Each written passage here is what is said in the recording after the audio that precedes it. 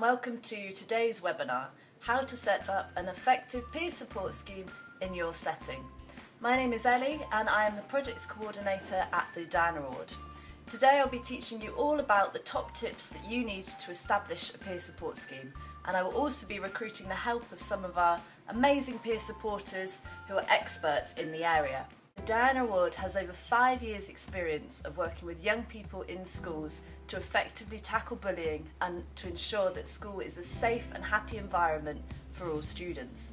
Our role within the Enable project has been to create a set of easy and engaging activities for students, parents, and staff which give them the skills, knowledge, and confidence to effectively tackle bullying in their schools. In today's webinar, we're going to be looking at what a peer support scheme is, what the role of a peer supporter is, how you go about setting up a scheme like this in your school, and what benefits it can have to your school. A peer support scheme involves students in their school voluntarily giving up their time to do activities and campaigns around something they feel passionate about. Peer supporters are not counsellors in the school, but they're a friendly face to students who are perhaps vulnerable or don't feel safe or affected by bullying. They provide support to them through keeping an eye on them at school, and um, being there to talk to them if they need somebody, and also reporting bullying to staff in the school. Now, peer supporters not only work with students, but they recognise the importance of working with the whole school community, so parents and staff, and they run sessions with them and activities with them which educates parents and staff how they can keep their children safe both online and offline. A lot of research has also shown that often students don't feel comfortable with reporting bullying to a teacher or an adult. This is because sometimes they feel that perhaps the issue may be taken out of their hands um, and may not necessarily take the steps that they want to happen. Therefore, having peer supporters in school can really help young people have somebody to go to who understand their problems and they feel comfortable talking to. Young people are also influenced by their peers' behaviour Therefore, peer supporters can really be used as a positive force in schools to change behaviour and ensure that those who are bystanders to bullying become upstanders to bullying and really know how they can report bullying and support those who may be suffering from it. I think peer supporters definitely have a great effect in the school and community. You definitely feel that students are more open about how they feel, whether that's through bullying or other such events that they may feel to hide within them but peer supporters can definitely be more approachable than speaking to an adult or teacher. When you're setting up a peer support scheme in your school for the first time, one of the most important things you do before you set up the scheme is to tell the school and communicate to the school that positive change is on the way, be it through an assembly or through senior leadership team presenting this idea. It's really important that students know the role they're going to play in this positive change and how the whole school community is going to be involved. When selecting students to be peer supporters, it's really important that they're representative of the whole school population as they're really going to be a student voice in your school.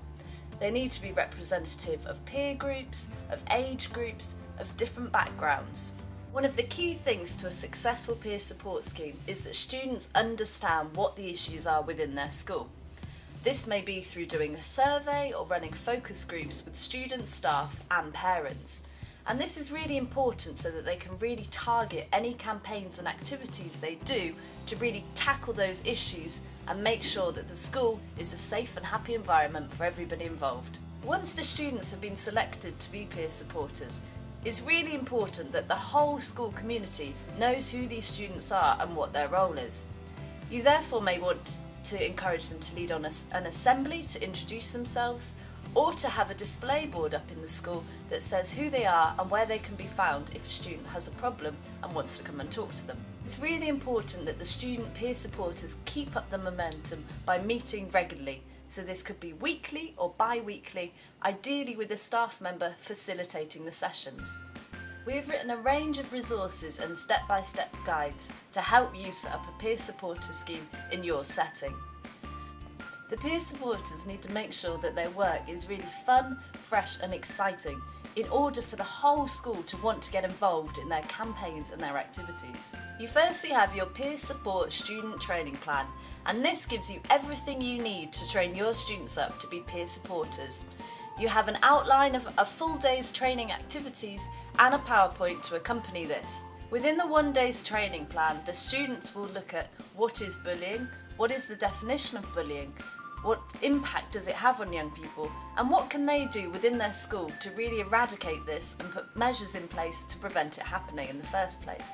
We've then written a set of 10 peer supporters sessions, and the idea with these is really to provide a guide for you and your students once they've been trained to keep the work going.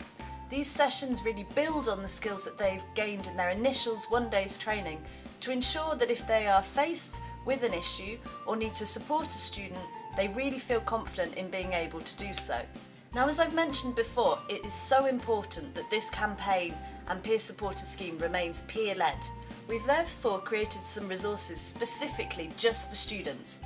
There's a peer supporter campaign material which provides tons and tons of ideas um, and of activities and campaigns that the peer supporters can run in their school. These activities are around topics such as cyberbullying, online safety, how you can encourage students to be upstanders to bullying, and how you can tackle issues such as racism and homophobia within your school. Enable recognises the vital role parents have to play within tackling bullying. We've therefore created a parent pack which is a really easy to follow guide for parents and talks them through some of the signs of bullying, how they can support their child, and how to keep them safe both online and offline. The set of certificates we've produced really helps recognise and celebrate the fantastic work that your students are going to be doing. There are level 1 and level 2 certificates to be presented to students once they've completed both stages of the training. We've also created an Enable School certificate so you can show your whole school community that your school does not tolerate bullying. I hope you found today's video useful. Myself and the Enable team are so excited to hear how you get on setting up a peer support scheme in your setting. If you would like more information about the Enable project or would like to access the resources, please see the link below. And please keep us updated with your work using the hashtag on Twitter EnableEU. Good, good luck with it all and please keep in touch.